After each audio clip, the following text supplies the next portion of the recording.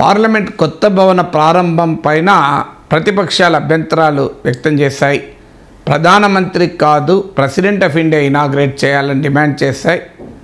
కానీ ప్రభుత్వము prime minister inaugurate చేస్తారు అని నిర్ణయం తీసుకోవడంతో ఈ కార్యక్రమాన్ని బహిష్కరిస్తున్నట్లు కూడా పంతొమ్మిది ప్రతిపక్షాలు జాయింట్గా మరో రెండు పార్టీలు విడివిడిగా దాదాపు ఇండికేషన్ ఇచ్చాయంటే ఇరవై ఒక్క పార్టీలు బహిష్కరిస్తున్నాయి ఇప్పటికీ. ఈలోగా కొత్తగా మరో వివాదం ముందుకొచ్చింది.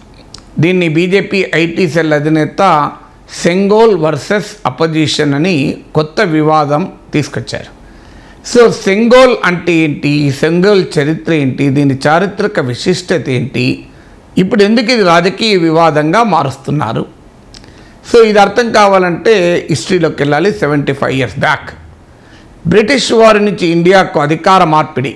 ట్రాన్స్ఫర్ ఆఫ్ పవర్ జరుగుతున్న సమయానికిలో రా అప్పటి Lord Mountbatten Jawaharlal నెహ్రూని అడిగానట ఈ ట్రాన్స్ఫర్ ఆఫ్ పవర్కు ఏది సింబాలిక్గా ఏం చేయాలి అని.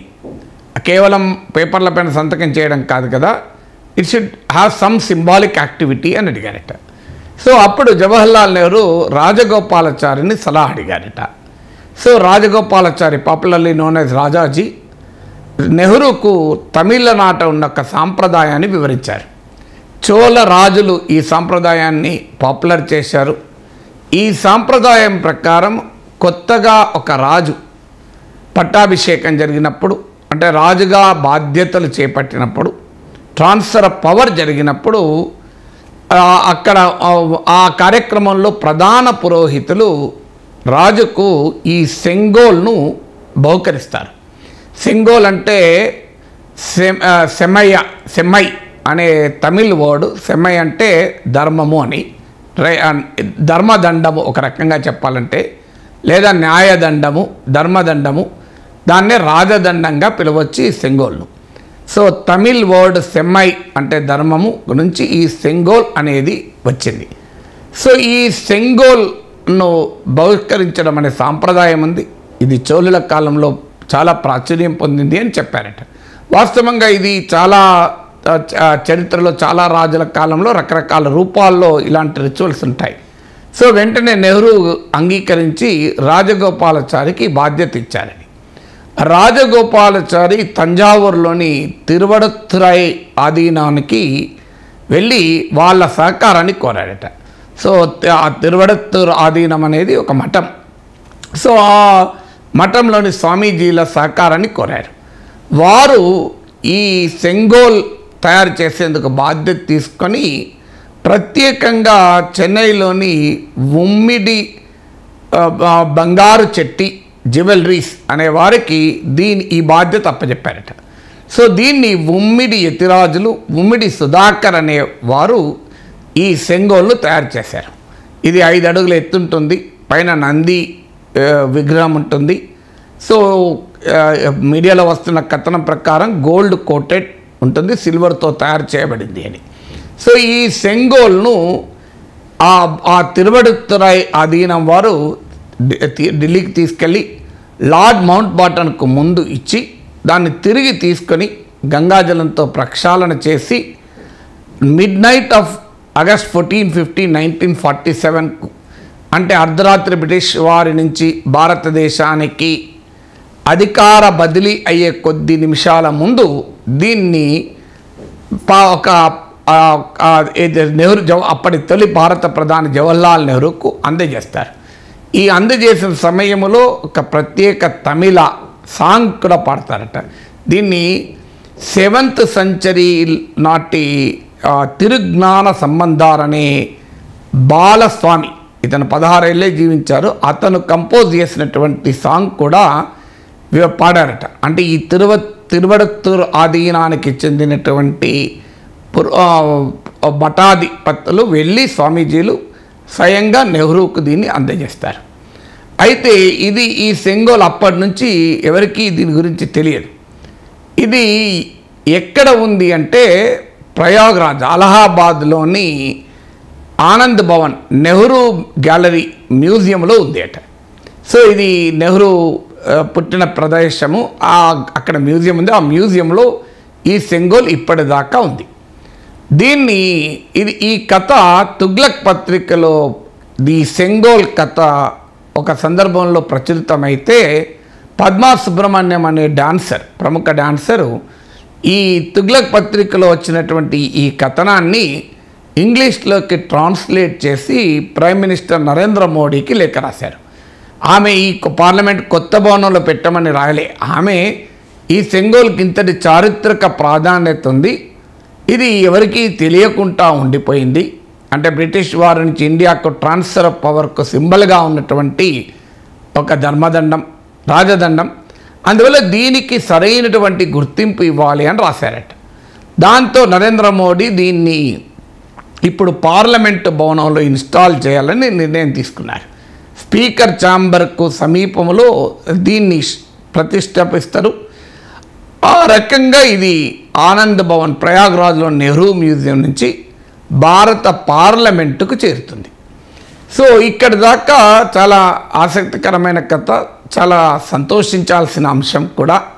ఎందుకంటే మన భారతీయ సాంప్రదాయాన్ని ఆధునికతను జోడించి ఇదొక ఆసక్తికరమైన చాలా ఆనందదాయకమైన పరిణామమే. ఎందుకంటే అంతటి చారిత్రక విశిష్టత కలిగిన సెంగోల్ భారత పార్లమెంట్ కొత్త భవనంలో ఉండడం ఏ రకంగా చూసినా న్యాయం. అందులో అనుమానమే లేదు.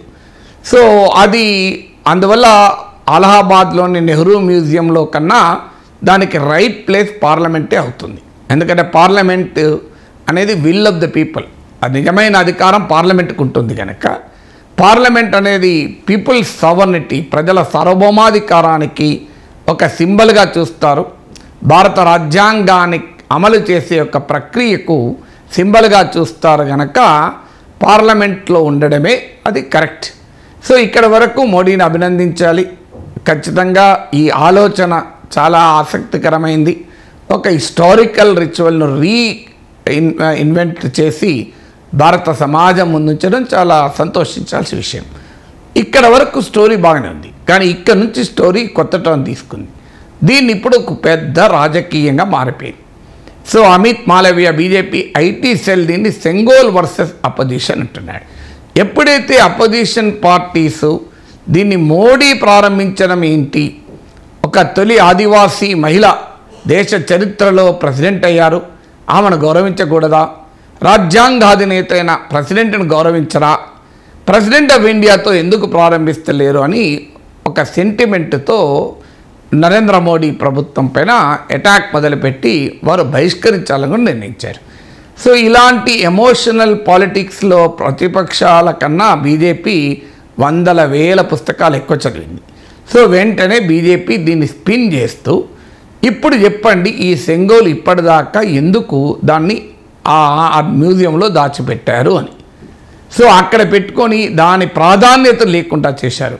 కాంగ్రెస్ పార్టీకి దేశం కన్నా కుటుంబమే ముఖ్యం అని అటాక్ మొదలుపెట్టారు. సో అంతేకాదు హిందూ రిచువల్స్ పట్ల హిందూ ధార్మిక కార్యక్రమాల పట్ల కాంగ్రెస్ పార్టీకి ఉన్న వ్యతిరేకతనే ఇది తెలియజేస్తోంది అని వాళ్ళు పేర్కొన్నారు. ఎందుకంటే ఈ సెంగోల్ ప్రస్తావన చరిత్రలోనే కాదు. తమిళ ఇతిహాసాల్లో కూడా ఉందట.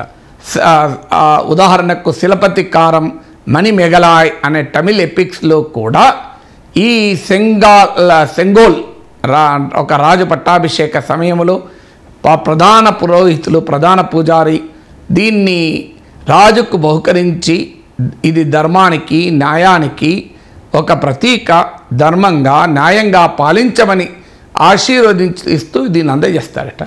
సో అందువల్ల ఇది హిందూ ధార్మిక కార్యక్రమం కనుక దానికి కూడా వ్యతిరేకం కాంగ్రెస్ అంటూ బీజేపీ అటాక్ మొదలుపెట్టింది. ఇంకొక మాట కూడా బీజేపీ ఏమంటుందంటే ఈ సెంగోల్కున్న చరిత్రను కాంగ్రెస్ అవమానించింది. దీన్ని నెహ్రూకు బహుకరించిన బంగారు చేతికర్ర అని కాంగ్రెస్ అన్నది. So it is the golden stick presented to Nehru అని ఇది దేశ ట్రాన్స్ఫర్ ఆఫ్ పవర్ దేశ అధికార బదిలీకి ప్రతీకగా ఉన్నదాన్ని నెహ్రూ గోల్డ్ చేతికర్రగా దీన్ని మార్చేసి నెహ్రూ మ్యూజియంలో పెట్టుకున్నారు. ఇంతకన్నా అన్యాయం ఉంటుందా? దేశాన్ని అవమానించడం హిందూ ధార్మిక కార్యక్రమాలు అవమానించడం అంటూ అటాక్ మొదలుపెట్టింది బీజేపీ సో ఇప్పుడు దీంట్లో బీజేపీ స్పిన్ చేసేది ఏంటంటే ఒకటి కాంగ్రెస్కు దేశం అంటే గౌరవం లేదు దేశం అంటే నెహ్రూ కుటుంబమే. తర్వాత కాంగ్రెస్కు హిందూ ధార్మిక కార్యక్రమాలంటే గౌరవం లేదు. భారతీయ చరిత్ర సంస్కృతి సాంప్రదాయాల పట్ల విలువ లేదు. అనేది చెప్పడంతో పాటు తమిళ్ కల్చర్కు తాము పెద్దపీట వేశాం. ఎందుకంటే హిందీ డామినేషను హిందీ రుద్దుతున్నారన్న విమర్శలు వ్యతిరేకతలు ఉన్నాయి కనుక దాన్ని కౌంటర్ చేస్తానికి తమిళ్ కల్చర్కు పెద్దపీట వేయడం ఇండియన్ నేషనలిస్టిక్ సింబల్గా దీన్ని వాడడం అలాగే హిందూ ధార్మిక సింబల్గా కూడా దీనికి పెద్దపీట వేశాం అనేటువంటి ఒక పొలిటికల్ పాయింట్ స్కోర్ చేయడం మొదలుపెట్టారు. సో ఈ సెంగోల్ వర్సెస్ అపోజిషన్ అని అమిత్ మాలేవి అనడం ద్వారా సెంగోల్ను దేశం కొరకు ధర్మం కొరకు ప్రతిష్ఠించడమే కాదు రాజకీయం కొరకు కూడా మేము ఉపయోగిస్తాం అనేది ఇప్పుడు బీజేపీ ఈ తాజా అటాక్లో మనకు కనిపిస్తోంది.